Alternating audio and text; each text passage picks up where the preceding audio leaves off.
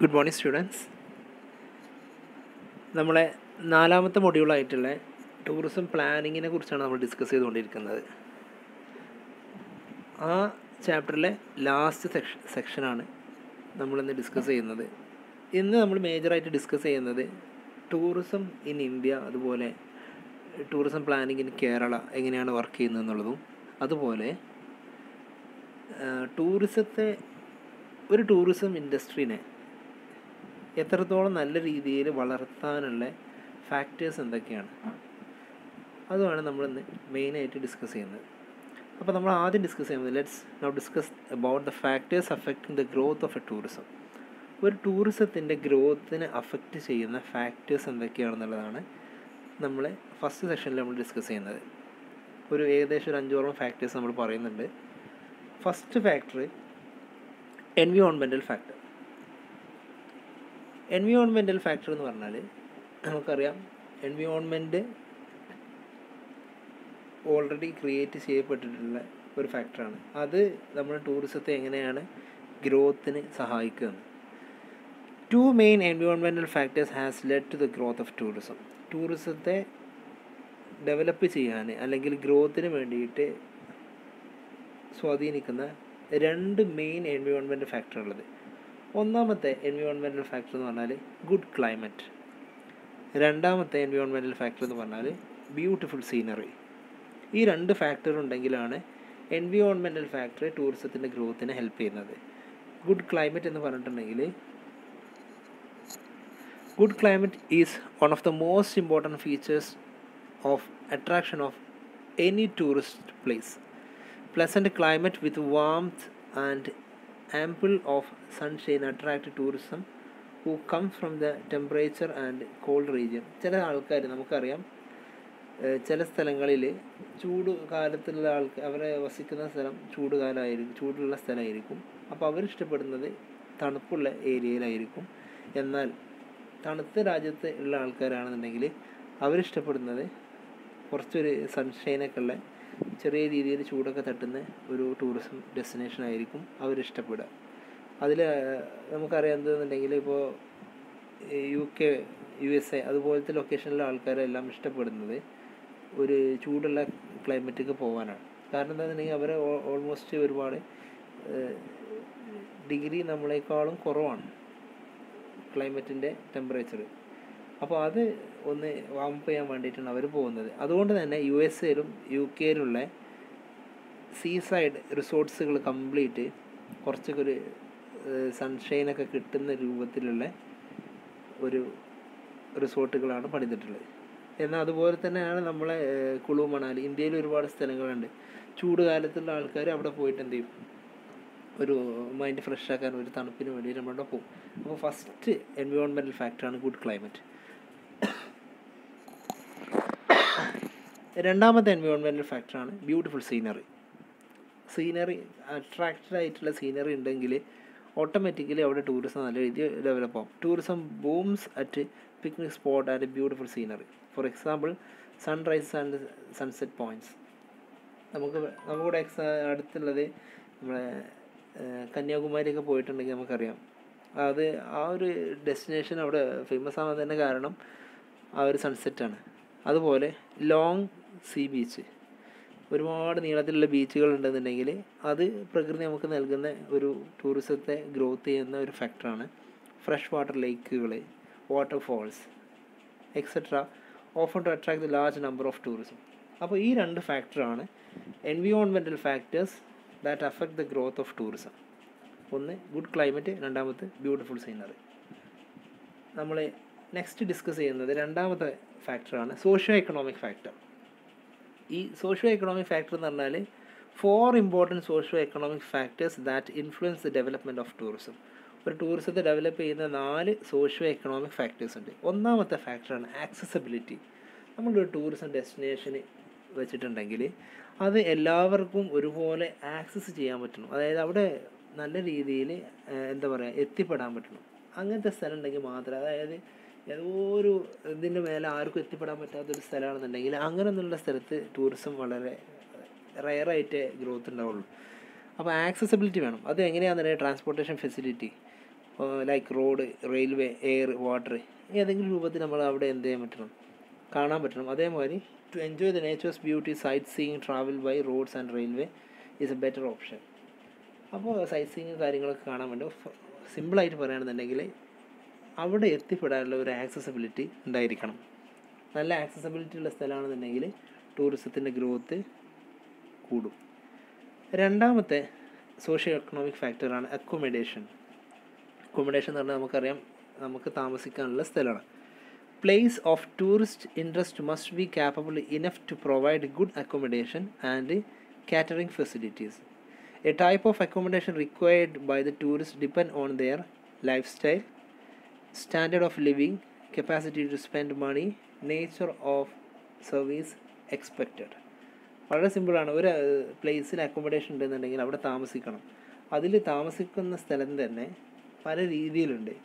അവരെ life style അല്ലെങ്കിൽ അവരുടെ സ്റ്റാൻഡേർഡ് ഓഫ് ലിവിങ് ഒരുപാട് വലിയ രീതിയിൽ റിച്ചായിട്ട് താമസിക്കുന്ന ആൾക്കാരാണെന്നുണ്ടെങ്കിൽ അവർക്ക് ഈ ചെറിയ ഇതൊന്നും ചിലപ്പോൾ ഇഷ്ടപ്പെടുന്നൊന്നുമില്ല അപ്പോൾ അവർക്ക് അതിനുള്ള ഫെസിലിറ്റി നമ്മൾ പ്രൊവൈഡ് ചെയ്ത് കൊടുക്കണം. എന്നാൽ ചില ആൾക്കാർ സാധാരണക്കാരനെ കയറാം. എന്നാൽ ടൂറിസം കാര്യങ്ങളൊക്കെ എക്സ്പ്ലോർ ചെയ്യാനുള്ള ഒരു മെന്റാലിറ്റി ഉള്ള ആൾക്കാരെ കയറാം. അവർ കപ്പാസിറ്റി ഓഫ് സ്പെൻഡ് മണി വളരെ കുറവായിരിക്കാം. അപ്പോൾ ആ സമയത്ത് അവർക്കും അഫോർഡബിൾ ആയിട്ടുള്ള രീതിയിലുള്ള ഒരു അക്കോമഡേഷൻ നമുക്ക് പ്രൊവൈഡ് ചെയ്യാൻ പറ്റുന്നു. ചുരുക്കി പറഞ്ഞിട്ടുണ്ടെങ്കിൽ കസ്റ്റമറെ മനസ്സിലാക്കിയിട്ട് ടൂറിസ്റ്റിനെ മനസ്സിലാക്കിയിട്ട് അവർക്കനുസരിച്ചുള്ള അക്കോമഡേഷൻ ഫെസിലിറ്റി പ്രൊവൈഡ് ചെയ്യുന്ന നല്ലൊരു എഫിഷ്യന്റ് ആയിട്ടുള്ള place plus catering catering facility എന്ന് പറഞ്ഞാൽ അവിടെ ഫുഡ് ആൻഡ് അക്കോമഡേഷൻ രണ്ടും കൂടിയാണ് പറയാം. അത് രണ്ടും കൂടി കറക്റ്റ് ആണെന്നുണ്ടെങ്കിൽ അവിടെ നല്ലൊരു ഗ്രോത്ത് ഉണ്ടായിരിക്കും. മൂന്നാമത്തെ സോഷ്യോ എക്കണോമിക് ഫാക്ടറാണ് അമ്യൂണിറ്റീസ് അമ്യൂണിറ്റീസ് പറഞ്ഞിട്ടുണ്ടെങ്കിൽ സോറി നമ്മൾ ഈ ടൂറിസം പ്ലേസിൽ അവിടെ എക്സ്പ്ലോർ ചെയ്യാൻ എന്തെങ്കിലും വേണം. നമ്മൾ അക്കോമഡേഷൻ ഉണ്ട് സൈറ്റ് സീയിങ് മാത്രമല്ല. അതിന്റെ കൂടെ നമ്മൾക്ക് അവിടെ എൻജോയ് ചെയ്യുന്ന ഒരു എക്സ്ട്രാ സ്കില്ല് അല്ലെങ്കിൽ എക്സ്ട്രാ സ്പേസ് ഒരു എക്സാമ്പിൾ പറയുകയാണെങ്കിൽ ചില സ്ഥലങ്ങളിൽ നമ്മൾ പോയിട്ടുണ്ടെങ്കിൽ അവിടെ സ്വിമ്മിങ് ഉണ്ടായിരിക്കാം. അല്ലെങ്കിൽ ഫിഷിങ് സർഫിങ് സഫാരി അഡ്വഞ്ചർ ചില സ്ഥലത്ത് ട്രക്കിംഗ് ഉണ്ടാവും. അപ്പോൾ ഇതൊക്കെ അവിടുത്തെ ആണ്. നമ്മളെ ടൂറിസ്റ്റുകൾക്ക് ഒരു ടൂറിസം പ്ലേസിനെ ഗ്രോത്ത് ചെയ്യുന്ന ഒരു എക്സ്ട്രാ സ്കില്ലാണിത് അല്ലെങ്കിൽ ഒരു എക്സ്ട്രാ സ്പേസ് ആണ് സത്യത്തിൽ അമ്യൂണിറ്റീസ് എന്ന് പറഞ്ഞാൽ ഈ അമ്യൂണിറ്റീസ് കൊണ്ടുള്ള ബെനിഫിറ്റ് എന്താണെന്നുണ്ടെങ്കിൽ ടൂറിസം ഇൻഡസ്ട്രീനും ഡെവലപ്പാണ് അതുപോലെ ലോക്കൽ പീപ്പിൾസിനും അത് എന്ത് ചെയ്യും? ഹെൽപ്പ് ചെയ്യും. ലോക്കൽ എക്കോണമിനും അത് ഹെൽപ്പ് ചെയ്യും. നെക്സ്റ്റ് വരുന്ന സോഷ്യോ എക്കണോമിക് ഫാക്ടറാണ് ആക്സിലറി സർവീസസ് ആക്സിലറി സർവീസസ് എന്ന് പറഞ്ഞാൽ ഒരു ടൂറിസ്റ്റ് പ്ലേസിൽ എ ടി എം ഫെസിലിറ്റി കൊടുക്കുക അല്ലെങ്കിൽ ബാങ്കിങ് ഫെസിലിറ്റി കൊടുക്കുക. അങ്ങനത്തെ ബാങ്കിങ് ഫിനാൻസ് സർവീസ് കൊടുക്കുക. Internet facility telecom services hospital facility ഇതൊക്കെ എക്സ്ട്രാ ആയിട്ട് കൊടുക്കുക എന്നുണ്ടെങ്കിൽ അതൊരു സോഷ്യോ എക്കണോമിക് ഫാക്ടറാണ്. അതിന് പറഞ്ഞ പേരാണ് ആക്സിലറി സർവീസസ്. അപ്പോൾ ഈ ഇത്രയും നാല് ഫാക്ടറാണ് സോഷ്യോ എക്കണോമിക് ഫാക്ടറായിട്ട് നമുക്ക് പറയാനുള്ളത്. ഈ നാല് ഫാക്ടർ നല്ല രീതിയിൽ ടൂറിസ്റ്റുകൾക്ക് പ്രൊവൈഡ് ചെയ്ത് കൊടുത്താൽ ഒന്നാമത് നമ്മൾ പറഞ്ഞത് ആക്സസിബിലിറ്റിയാണ് അവിടെ നമ്മൾ എത്തിപ്പെടാൻ പറ്റണം. രണ്ടാമത് അക്കോമഡേഷൻ ഫുഡ് ആൻഡ് അക്കോമഡേഷൻ നല്ല രീതിയിൽ കസ്റ്റമർ അനുസരിച്ചിട്ട് നമുക്ക് കൊടുക്കാൻ കഴിയണം. അമ്യൂണിറ്റീസ് താമസവും ഭക്ഷണവും മാത്രമല്ല അതിന്റെ കൂടെ അവിടെ എക്സ്പ്ലോർ ചെയ്യുന്ന വേറെ എന്തെങ്കിലും ഒരു എക്സ്ട്രാ ആക്ടിവിറ്റീസ് കൂടി വേണം. പിന്നെ auxiliary services telephone internet hospital services banking services ഇതെല്ലാം കൊടുത്തു കഴിഞ്ഞാൽ സോഷ്യോ എക്കണോമിക് ഫാക്ടറാണ് ഈ ഫാക്ടേഴ്സൊക്കെ നല്ല രീതിയിൽ എഫിഷ്യന്റ് ആയിട്ട് കസ്റ്റമർക്ക് പ്രൊവൈഡ് ചെയ്യാൻ അല്ലെങ്കിൽ ടൂറിസ്റ്റുകൾക്ക് പ്രൊവൈഡ് ചെയ്യാൻ സാധിച്ചാൽ നമ്മുടെ ടൂറിസം ഓട്ടോമാറ്റിക്കലി നല്ല രീതിയിൽ ഡെവലപ്പ് ആവും. ഇതും ഒരു ഗ്രോത്തിനുള്ള കാരണമാണ് മൂന്നാമത്തെ ഗ്രോത്തിനെ അഫക്റ്റ് ചെയ്യുന്ന ഫാക്ടറാണ് historical and cultural factors many tourist are attracted to place of historical significance and that which have a legacy of rich cultural heritage. People love and enjoy exploring the destination where there are famous ancient monuments, marvelous forts, castles, and places of early kings and queens. കൊട്ടാരങ്ങളും അതുപോലെ കോട്ടകളും പണ്ട് കാലത്ത് ഉപയോഗിച്ച രാജാക്കന്മാരുടെ ജീവിത ശൈലിയിലുള്ള എന്തെങ്കിലും മെമ്മറീസോ ഹെറിറ്റേജ് അങ്ങനത്തെ അല്ലെങ്കിൽ പഴയകാല ആൾക്കാരെ സ്ഥലങ്ങളും കാര്യങ്ങളൊക്കെ ഉണ്ടെന്നുണ്ടെങ്കിൽ ചില ആൾക്കാർ അത് എക്സ്പ്ലോർ ചെയ്യാനും അത് കാണാനും ഭയങ്കര ഇൻട്രസ്റ്റഡ് ആയിരിക്കും. ഇത് ഒരു ടൂറിസം ഡെസ്റ്റിനേഷനെ ഹെൽപ്പ് ചെയ്യുന്ന ഒരു ഫാക്ടറാണ് ഓക്കെ ഗ്രോത്തിനെ ഹെൽപ്പ് ചെയ്യും. നെക്സ്റ്റ് വരുന്ന ഫാക്ടറാണ് religious factors people often make pilgrims to place of religious and important to seek inner peace, get blessing on their favorite diets and gurus, attain salvation before death, etc. മനുഷ്യനെ മനസ്സ് ശാന്തമാക്കാനും ആത്മീയമായിട്ട് സംതൃപ്തി നേടാനും അല്ലെങ്കിൽ ഉള്ള ടെൻഷനും കാര്യങ്ങളൊക്കെ ഒഴിവാക്കിയിട്ട് അവർ വിശ്വസിക്കുന്ന മതങ്ങളിൽ അവർക്ക് കൂടുതൽ കാര്യങ്ങൾ ചെയ്യാൻ വേണ്ടിയിട്ട് ഓരോ പ്ലേസുകൾ ഉണ്ടായിരിക്കും. അല്ലെങ്കിൽ അവർ ഗുരുസ് ഉണ്ടായിരിക്കും. അല്ലെങ്കിൽ അവർ യോഗ ചെയ്യുന്ന ആൾക്കാർ അങ്ങനത്തെ ഒരുപാട് ആൾക്കാരുണ്ടാകും അവർ അല്ലെങ്കിൽ അവർക്ക് വിസിറ്റ് ചെയ്ത് കഴിഞ്ഞാൽ അവിടുന്ന് പുണ്യം നേടാമെന്ന് വിശ്വസിക്കുന്ന ആൾക്കാരുണ്ടാകും അങ്ങനെ ഉള്ള ഫെയ്ത്ത് അവരെ ബിലീഫ്സ് കാര്യങ്ങളെല്ലാം ഉള്ളത് കൊണ്ട് അങ്ങനത്തെ ഹോളി പ്ലേസസ് വിശുദ്ധമായിട്ടുള്ള ഒരുപാട് സ്ഥലങ്ങളുണ്ട്. അത് റിലീജിയസ് ഫാക്ടറാണ് അങ്ങനത്തെ ഒരു സ്ഥലം ഉണ്ടെന്നുണ്ടെങ്കിൽ ഓട്ടോമാറ്റിക്കലി അവിടെ ടൂറിസം ഡെവലപ്പ് ആവും. നമുക്കറിയാം ജെറുസലേം ഇസ് ഇസ്രായേൽ. ഇസ്രായേലിലുള്ള ജെറുസലേമിൽ ഒരു ഹോളി പ്ലേസ് ആയിട്ടാണ് അവർ കാണുന്നത്. അപ്പോൾ അവർ ജൂസ് അപ്പോൾ ജൂതന്മാരെന്ത് ചെയ്യും? അവിടെ പോയിട്ട് നല്ല രീതിയിൽ അവർ പ്രാർത്ഥന അവർ ആത്മീയപരമായിട്ടുള്ള കാര്യങ്ങൾ. റോമുണ്ട് Vatican Mecca and Medina Saudi അറേബ്യയിൽ മുസ്ലിംസിന്. Varanasi Amritsar in India. നമ്മളെ ഇന്ത്യയിലുള്ള ഹിന്ദുസിനുള്ള വാരണാസി ഇതുപോലത്തെ സ്ഥലങ്ങൾ ഇതെല്ലാം ഒരു റിലീജിയസ് ഫാക്ടറാണ് ഈ ഫാക്ടർ ഉണ്ടെങ്കിൽ അവിടെ ടൂറിസം ഡെസ്റ്റിനേഷന് ഡെവലപ്പ് ആവും. Other factors some time other factors also can contribute contribute the growth of tourism in unexpected places for example U F O sites sites in Roswell New Mexico U S A അതായത് എന്തെങ്കിലും ഒരു അപകടമോ അങ്ങനെ എന്തെങ്കിലും സംഭവിച്ചിട്ട് അല്ലെങ്കിൽ അവിടെ എന്തെങ്കിലും ഒരു കാര്യം സംഭവിച്ചിട്ട് അത് കാണാൻ വേണ്ടിയിട്ട് അല്ലെങ്കിൽ അതിനെ ഓർക്കാൻ വേണ്ടിയിട്ട് ആൾക്കാർ അവിടെ ഒത്തുകൂടും. അതൊരു ടൂറിസത്തെ ഡെവലപ്പ് ആക്കുന്ന ഒരു ഫാക്ടറാണ് ഇപ്പോൾ നയൻ ഇലവന് അമേരിക്കയിലുള്ള പ്ലേസ് അവിടെ ഇന്നും ആ സമയമാകുന്ന സമയത്ത് ഒരുപാട് ആൾക്കാർ വരലുണ്ട്. അവിടെ വന്നിട്ട് അവർ ഒത്തുകൂടലാണ്. മരിച്ചുപോയവർക്ക് വേണ്ടിയിട്ടുള്ള ഒരു ഓർമ്മ പുതുക്കലാവാം. ഏതാണെങ്കിലും അതും ഒരു ടൂറിസത്തെ ഡെവലപ്പ് ചെയ്യാൻ അഫക്റ്റ് ചെയ്യുക ഗ്രോത്തിനെ അഫക്റ്റ് ചെയ്യുന്ന ഒരു ഫാക്ടറാണ് ഇത്രയാണ് അഞ്ച് ഫാക്ടർ നമ്മൾ ഡിസ്കസ് ചെയ്തത്. ഇനി നമ്മൾ അടുത്ത് പറയാൻ പോകുന്നത് ടൂറിസം പ്ലാനിങ് ഇൻ ഇന്ത്യ നമ്മളെ ഇന്ത്യക്കാർക്ക് ആരും കുറ്റപ്പെടുത്തി പറയല്ല. ഇന്ത്യക്കാർക്ക് ചില കാര്യങ്ങൾ ഉദിക്കണമെന്നുണ്ടെങ്കിൽ മനസ്സിൽ വരണമെന്നുണ്ടെങ്കിൽ കുറച്ച് ലേറ്റായിട്ട് വരുള്ളൂ. ടൂറിസത്തിന്റെ കാര്യത്തിലും ഇന്ത്യൻ ഗവൺമെന്റിന് ടൂറിസം എന്നുള്ളത് ഒരു ഇൻഡസ്ട്രി ആയിട്ട് കണക്കാക്കാൻ കുറച്ച് ലേറ്റായി വന്നിട്ടുണ്ട്. ലോകം മുഴുവൻ ടൂറിസത്തെ പ്രോത്സാഹിപ്പിച്ചപ്പോഴും നമ്മൾ ടൂറിസം ഒരു ഇൻഡസ്ട്രി ആയിട്ട് ഡെവലപ്പ് ആക്കാൻ കുറച്ച് ലേറ്റായി വന്നു. കാരണം എന്താണെന്നുണ്ടെങ്കിൽ അതിന് മുന്നേ നമുക്കുണ്ടായ ചില അനുഭവങ്ങൾ കൊണ്ടായിരിക്കാം. ഓക്കെ വിദേശികൾ ഇവിടെ വന്നിട്ട് നമ്മളെ എന്താ പറയുക എക്സ്പ്ലോയിറ്റ് ചെയ്തതുകൊണ്ടായിരിക്കാം ഇങ്ങനെ ഒരു ലേറ്റ് ആയിട്ടുള്ള ചിന്ത വന്നത്. അപ്പോൾ tourism planning in India it is started quite late with the first tourism policies being announced in the government of India in November nineteen eighty two after the tourism was recognised an an industry by planning commission of India in June eighteen sorry nineteen eighty two ആയിരത്തി തൊള്ളായിരത്തി എൺപത്തി രണ്ട് നവംബറിലാണ് ആദ്യമായിട്ട് Indian government tourism ഒരു industry ആയിട്ട് develop ചെയ്യുന്നത് in July eighteen nineteen eighty six the planning commission of India setup setup the national committee on tourism in order to formulate the plans for their sectors.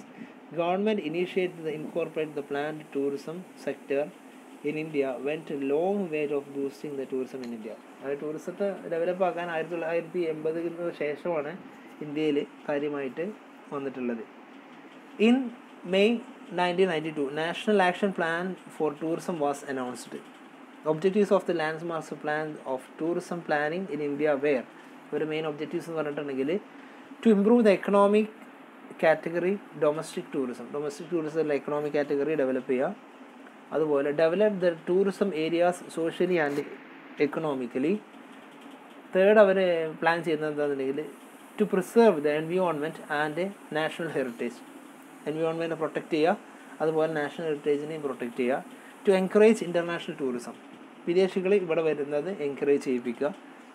Improve the world tourism India's share. ലോക ടൂറിസത്തിൽ ഇന്ത്യന്റെ share എന്ത് ചെയ്യുക improve ചെയ്യുക to increase opportunity of employment in the sector ആ tourism സെക്ടറിൽ maximum employment opportunity create ചെയ്യുക ഇതെല്ലാം വേണ്ടിയിട്ട് നാഷണൽ ആക്ഷൻ പ്ലാന് നയന്റീൻ നയന്റി ടൂവിൽ ഫോം ചെയ്തിട്ടുണ്ട്. അവരുടെ മെയിൻ ഒബ്ജക്റ്റീവ്സ് എന്നാണ് ഈ പറഞ്ഞിട്ടുള്ള points next Indian tourism planning increased with seventh five year plan five to nineteen eighty nine വരെയാണ് seventh five year plan the various policies advocated by the seventh plan tourism in India are അതായത് five year പ്ലാനിൽ tourism develop ആക്കാൻ വേണ്ടിയിട്ട് അവരെടുത്ത പരിപാടി എന്തൊക്കെയാണെന്നുണ്ടെങ്കിൽ അവരെ policies എന്തൊക്കെയാണെന്നുണ്ടെങ്കിൽ to promote aggressively domestic tourism domestic ടൂറിസത്തെ നന്നായിട്ട് പ്രൊമോട്ട് ചെയ്യുക. It laid stress on creating more beach resort അത് എന്തിന് കാരണമാക്കുന്നുണ്ടെങ്കിൽ ഒരുപാട് ബീച്ച് റിസോർട്ടുകൾ ഉണ്ടാക്കാൻ വേണ്ടി കാരണമാക്കി to conduct conferencing trekking conventions and the winter sports that is various option available to foreign tourism ഇതുപോലത്തെ കാര്യങ്ങളൊക്കെ കൊടുത്തിട്ട് ഫോറിൻ ടൂറിസ്റ്റുകൾക്ക് എന്ത് ചെയ്യുക നമ്മുടെ രാജ്യത്തെ ടൂറിസം അട്രാക്റ്റ് ആവുക. The various policies advocated by the eighth plan of tourism planning are eight five year പ്ലാനിൽ നമുക്ക് വന്നിട്ടുള്ള ടൂറിസം പ്ലാനിങ്ങിന്റെ പോളിസീസാണ് ഒന്നാമത്തെ അവർ എയിം അവരെ planning എന്താണെന്നുണ്ടെങ്കിൽ to develop tourism places tourism places നന്നായിട്ട് ഡെവലപ്പ് ആക്കുക. To develop winter sports beach resort and wildlife tourist tourism അടുത്ത അവരുടെ പ്ലാനിങ് എന്താണെന്ന് to resort to restore and project national heritage നാലാമത്തത് to provide the tourist tourist centre economic class accommodation ചുരുക്കി പറഞ്ഞിട്ടുണ്ടെങ്കിൽ affordable ആയിട്ടുള്ള രീതിയിൽ എല്ലാ ടൂറിസ്റ്റുകൾക്കും എല്ലാ രീതിയിൽ ബീച്ച് ടൂറിസം സ്പോർട്സ് ടൂറിസം അതുമാതിരി നമ്മുടെ നാഷണൽ ഹെറിറ്റേജ് കാര്യങ്ങളൊക്കെ നല്ല രീതിയിൽ സസ്റ്റെയിൻ ചെയ്തിട്ട് ഡെവലപ്പാക്കുക ടൂറിസ്റ്റുകൾ മാക്സിമം അട്രാക്റ്റ് ചെയ്യുക. The ministry of tourism a branch of the government of India ministry of ടൂറിസമാണ് നമുക്കറിയാം എന്ത് എല്ലാ പോളിസീസും administrative policies rules and regulations കാര്യങ്ങളൊക്കെ ടൂറിസം ഇൻഡസ്ട്രിക്ക് വേണ്ടിയിട്ട് ടൂറിസം പ്രൊമോഷന് വേണ്ടിയിട്ട് ക്രിയേറ്റ് ചെയ്യുന്നത്. The head of the minister of tourism എന്ന് പറഞ്ഞിട്ടുണ്ടെങ്കിൽ ടൂറിസം മിനിസ്റ്റർ ആയിരിക്കും. അതിനെ അവരെ ഹെൽപ്പ് ചെയ്യുന്നത് ഓരോ ടൂറിസം മിനിസ്റ്റേഴ്സ് ഉണ്ടായിരിക്കും. ഇത് കുറച്ച് പഴയ പോയിന്റാണ് ഹെൽഡ് ബൈ അൽഫോൺസ് കണ്ണന്താൻ രണ്ടായിരത്തി പതിനേഴിൽ അദ്ദേഹമായിരുന്നു.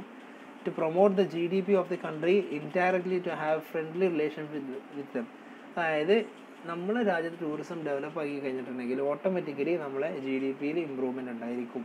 The government of India announce official a visa arrival status facility international visitors to enter the India ഇന്ത്യയിൽ ഏകദേശം നാൽപ്പത്തി മൂന്ന് രാജ്യങ്ങളിലുള്ള ആൾക്കാർക്ക് വിസിറ്റേഴ്സിന് അപ്രൂവൽ കൊടുത്തിട്ടുണ്ട് വിസ വരാൻ ഇങ്ങോട്ട് എന്റർ ചെയ്യാൻ. ഒരുപാട് രാജ്യങ്ങൾ പേര് പറഞ്ഞിട്ടുണ്ട്. United States Australia Vietnam Thailand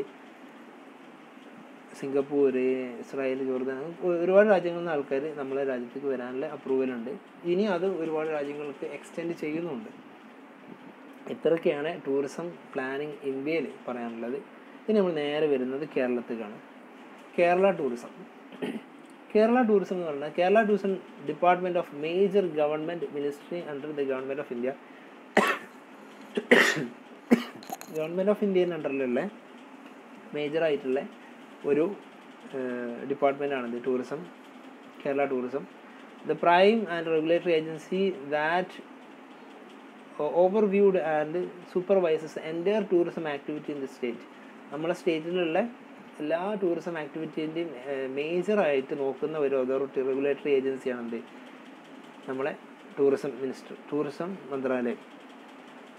Kerala tourism is ranked one of the fastest growing tourism industry in the country and the ministry has been often adjudged as a key department that aggressively worked on make Kerala tourism into top 100 brands super brands അതായത് കേരളത്തിൽ Indian ഇന്ത്യയിൽ തന്നെ ഏറ്റവും നന്നായിട്ട് develop ആവുന്ന ഒരു tourism ഡെസ്റ്റിനേഷനാണ് അല്ലെങ്കിൽ ഒരു ടൂറിസമാണ് ഇത് കേരള ടൂറിസം അതിന് വേണ്ടിയിട്ട് ടൂറിസം മന്ത്രാലയം നന്നായിട്ട് വർക്ക് ചെയ്യുന്നുണ്ട് അവരെ മേജർ എയിം എന്ന് പറഞ്ഞിട്ടുണ്ടെങ്കിൽ ലോകത്തിലുള്ള ടോപ്പ് ഹൺഡ്രഡ് സൂപ്പർ ബ്രാൻഡ്സിൽ ഒന്നായിട്ട് കേരള ടൂറിസത്തെ മാറ്റുക എന്നുള്ളതാണ്.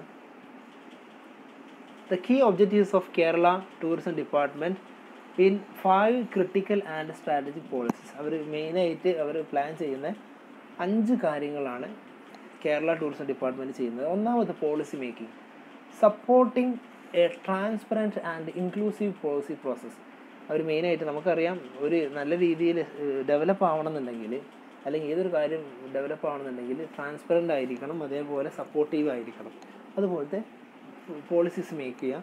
Promoting fair and open competition strengthening the institutional capacity to implement and enforce policies drawing international support and argument experting in the development of Kerala tourism മറ്റുള്ളവരെ international policies കാര്യങ്ങളൊക്കെ adopt ചെയ്ത് നമുക്ക് ചെയ്യാം. അല്ലെങ്കിൽ അവരിൽ നിന്ന് എക്സ്പേർട്ടിന് നിന്ന് സപ്പോർട്ടുകൾ വാങ്ങിക്കുക വാങ്ങിക്കാം. എല്ലാ രീതിയിലും വാങ്ങിയിട്ട് നമുക്ക് നല്ല രീതിയിലുള്ള പോളിസീസ് കാര്യങ്ങളൊക്കെ മേക്ക് ചെയ്യാം. രണ്ടാമത്തെ പ്രോഡക്റ്റ് ഡെവലപ്മെന്റ് ടൂറിസവുമായി ബന്ധപ്പെട്ടിട്ടുള്ള കോർ സ്ട്രെങ്ത് ആണ് ക്രിയേറ്റ് ന്യൂ പ്രോഡക്ട്സ് ഉണ്ടാക്കുക. യുണീക്സ് സെല്ലിംഗ് പൊസിഷൻ ക്രിയേറ്റ് ചെയ്യുക. Focus on sustainable development of often product and international quality international ക്വാളിറ്റിയിൽ നല്ല രീതിയിൽ ടൂറിസം പ്രോഡക്റ്റിനെ മറ്റുള്ളവരുടെ മുന്നിൽ കൊടുക്കുക എന്നുള്ളതാണ് രണ്ടാമത്തെ സ്ട്രാറ്റജി മൂന്നാമത്തെ strategy marketing build a brand ഒരു ബ്രാൻഡ് ബിൽഡ് ചെയ്യുക. Emphasis and quality and assurance നല്ല രീതിയിൽ വെൽ ക്വാളിറ്റിയിൽ അത് ഗ്യാരണ്ടി കൊടുത്തിട്ട് എന്ത് ചെയ്യുക? കസ്റ്റമേഴ്സിന് പ്രൊവൈഡ് ചെയ്യുക. Providing demand driven information compete in global level ഒരു വേൾഡ് സ്റ്റാൻഡേർഡിൽ ആ നമ്മളെ പ്രൊഡക്റ്റിനെ മാർക്കറ്റ് ചെയ്യാം. കേരള ടൂറിസത്തെ നെക്സ്റ്റ് വരുന്നത് infrastructure focusing on the core and linkage infrastructure investing on the strategical focused capacity to support development priority നല്ല രീതിയിൽ അല്ലെങ്കിൽ ലോങ് ടേം ഒക്കെ ഡെവലപ്പ് ആവുന്ന രീതിയിൽ നമ്മളെ ഇൻഫ്രാസ്ട്രക്ചർ ഫെസിലിറ്റി കാര്യങ്ങളെല്ലാം കേരള ടൂറിസം നല്ല രീതിയിൽ ഡെവലപ്പ് ആക്കാൻ വേണ്ടി ശ്രമിക്കുന്നുണ്ട്. കാരണം എന്താണെന്നുണ്ടെങ്കിൽ നമ്മൾ പറഞ്ഞു സോഷ്യോ എക്കണോമിക് ഫാക്ടറിൽ ആക്സസബിലിറ്റി എന്ന് പറഞ്ഞത് നല്ല ഒരു ഫാക്ടറാണ് ഒരു നല്ല രീതിയിൽ ആക്സസ് ചെയ്യാൻ പറ്റാത്ത ഒരു ഏരിയ ആണെന്നുണ്ടെങ്കിൽ അല്ലെങ്കിൽ ടൂറിസ്റ്റുകൾക്ക് കംഫർട്ട് ഇല്ലാത്ത ഒരു ആക്സസിബിലിറ്റി ഏരിയ ഉണ്ടെന്നുണ്ടെങ്കിൽ അവിടെ ഒരിക്കലും ടൂറിസത്തിന് ഗ്രോത്ത് ഉണ്ടാവില്ല. അപ്പോൾ അത് ഒഴിവാക്കാൻ വേണ്ടിയിട്ട് നമ്മൾ എന്ത് ചെയ്യുന്നു? നല്ല ഇൻഫ്രാസ്ട്രക്ചർ ഫെസിലിറ്റി പ്രൊവൈഡ് ചെയ്യുന്നു. നെക്സ്റ്റ് വരുന്ന tourism services building critical mass tourism workers increase technical skill strengthening the community entrepreneurial skills augmenting managerial capacity to build a service sector sensitive to tourist and tourism. അതായത് നല്ല രീതിയിലുള്ള services efficient ആയിട്ട് trained ആയിട്ട് ഒരു എന്താ പറയുക ഒരു class ആയിട്ടുള്ള ഒരു ടൂറിസം സർവീസസ് നമ്മൾ പ്രൊവൈഡ് ചെയ്യാം. ഇത്രയും അഞ്ച് മെയിൻ ഫാക്ടേഴ്സ് സ്ട്രാറ്റജിയാണ് ക്രിട്ടിക്കൽ സ്ട്രാറ്റജിയാണ് കേരള ടൂറിസത്തിന്റെ അണ്ടറിലേക്ക് ഇപ്പോൾ ചെയ്തുകൊണ്ടിരിക്കുന്നത്. ഒന്നാമത്തെ പോളിസി മേക്ക് ചെയ്യണം രണ്ടാമത്തെ അവർ പ്രൊഡക്റ്റ് കൊടുക്കുക അതിനെ മാർക്കറ്റ് ചെയ്യുക ഇൻഫ്രാസ്ട്രക്ചർ ഡെവലപ്പ് ആക്കുക ടൂറിസം സർവീസസിന് വേൾഡ് ക്ലാസ് ലെവലിൽ കൊടുക്കുക. ഇത്രയും കാര്യങ്ങൾ ചെയ്തിട്ടുണ്ടെങ്കിൽ ഓട്ടോമാറ്റിക്കലി നമ്മുടെ ടൂറിസം ഇൻ കേരള ഡെവലപ്പ് അങ്ങനെ ചെയ്തിട്ട് ചെയ്തു കഴിഞ്ഞാൽ എഫിഷ്യന്റായിട്ട് ചെയ്ത് കഴിഞ്ഞാൽ ലോകത്ത് അറിയപ്പെടുന്ന ഹൺഡ്രഡ് സൂപ്പർ ബ്രാൻഡിൽ ഒന്നായിട്ട് കേരള ടൂറിസമായി മാറും. അങ്ങനെ മാറട്ടെ. ഓക്കെ അപ്പോൾ ഇന്ന് ഇതോട് കൂടിയിട്ട് നമ്മൾ ഈ നാല് മൊഡ്യൂൾ ഇവിടെ ഫിനിഷ് ആയിട്ടുണ്ട്. ഇനി നമുക്ക് ഡിസ്കസ് ചെയ്യാൻ രണ്ട് ഒരൊറ്റ ചാപ്റ്ററേ ഉള്ളൂ. രണ്ട് ക്ലാസ്സോട് കൂടിയിട്ട് നമ്മളെ ടൂറിസം ഈ ഈ ഒരു പേപ്പർ ഇവിടെ അവസാനിക്കും. Thank you very much